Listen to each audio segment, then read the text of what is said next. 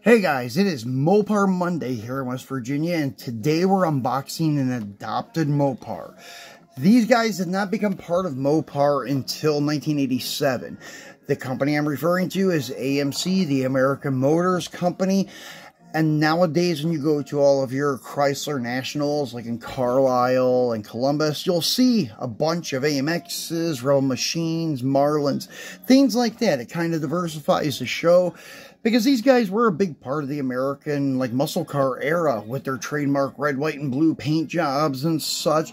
Very cool to see them at the shows with all the vibrant, high-impact colors of Mopar. Uh, so anyways, I was kind of really stoked when I seen this at the end of the last year to get one of these. I actually ordered two, but I passed my second one to a uh, Facebook friend. And I was going to unbox one and keep one carded, but I don't know, just because of the room situation, I'm just going to have a loose one. Um, I'll keep this package in case I ever decide to display it in the package again because the card art is really cool as you can see and if you did uh, or if you do follow Lamley he had some pics on IG of an actual real car from the 70s a yellow Javelin that was done up just like this with the big ladder bars, the jacked up rear end, straight axle, the whole car was setting up like a 4x4. Looks identical to this diecast. So this is actually one that existed in the 70s, just a different paint job. So anyways, on the back, they have a story write-up of the car. We'll go over that in a minute. But this is another thing that's cool about these. They are numbered. And if you are a member and you have not got one yet, they were available in the shop until yesterday. They probably still are. I think a lot of people underestimated how nice the casting is and such. So I think this will be a sleeper. In a couple years, it will be worth a lot more than it is right now. But this is number 10,929 of 30,000. And the other one I bought was 10,926, I believe. So they are uh, consecutive numbers when you buy two. Well, mine were anyways. I know it doesn't happen with everyone. So let's get him out of the protector pack and take a look at his story and such. Just so on the back here, it tells you a little bit. Thanks to its stylish body and racing capabilities, it's no surprise that the 1971 AMC Javelin AMX was well received in car culture. Hot Wheels is getting their 1970s freak style on, on with root beer Spectraflame paint entwined with 70s style greens and yellows throughout. This car was about more than just looks. They were often outfitted with performance enhancements from increased uh, engine power to aftermarket exhaust systems, this model holds true with exposed engine and multi-piece leaf spring molded suspension and ladder bar details for a rounded out look and feel. With a color story like this, one can't help but tr be transported back to Grandma's 1970 style kitchen. So, I'm going to go ahead and try to get him out the card here. I have not broke him loose yet. Um, sometimes the glue on these come off pretty easily. Sometimes they don't.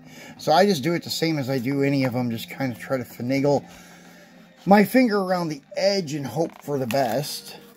This one I don't think is going to be so cooperative as some of the others. But it's not too bad. Could have been worse. So, they always have a PVC window on the back side so you can look through and see the car in case you do not want to unbox it. And then there is another piece of PVC that keeps the car in place on the back side from flopping side to side. But myself, I like to get them out because I think, especially if you're in hot and humid conditions, that this PVC plastic has a bad reaction to the paint after so many years. So this, unlike Johnny Lightning Zingers, is a lot more detailed and believable. What I mean by that, as you can see, you down in the motor compartment, you can see the headers and such. And I know in Johnny Lightnings, you can see the where they exit, but they usually don't have the whole motor. And if they do have the whole motor, it's a little bit undersized. This one seems to be spot on with the car. I know Greenlight is another company that has very small engines for 164th. So Hot Wheels nailed it with accuracy with the size of the engine. And this is one of their castings I believe to be true to 164 scale or be very close. So looks very good.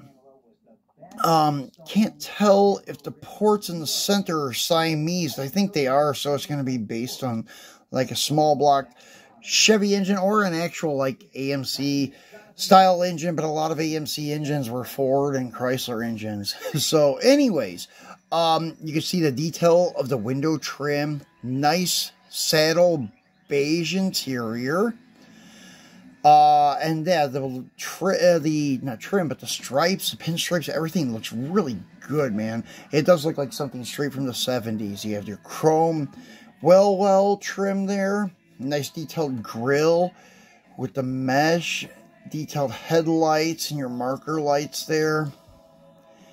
Then flipping around to the back side. Nice details on the tail lights. Ah, trying to get it to focus here. There we go. And the plate says freaking. So it's kind of cool. Um, you can miss um, like interpret it and think they're saying the other word. But um, yeah, it is freaking cool. So you can see it even has the trunk lock there up there in the wing area on the back of the deck lid. These almost look like a hatchback, but they were not. Um, and then flip him over for all the intricate detail on the base.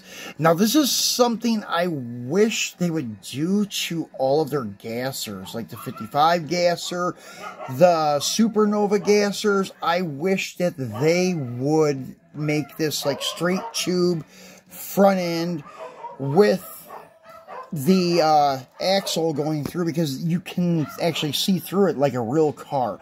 On the 55 gassers, the Supernovas, and all the other ones, they have this big block there, and it just looks horrible. It looks like a kid's toy, which it is designed to be a kid's toy originally.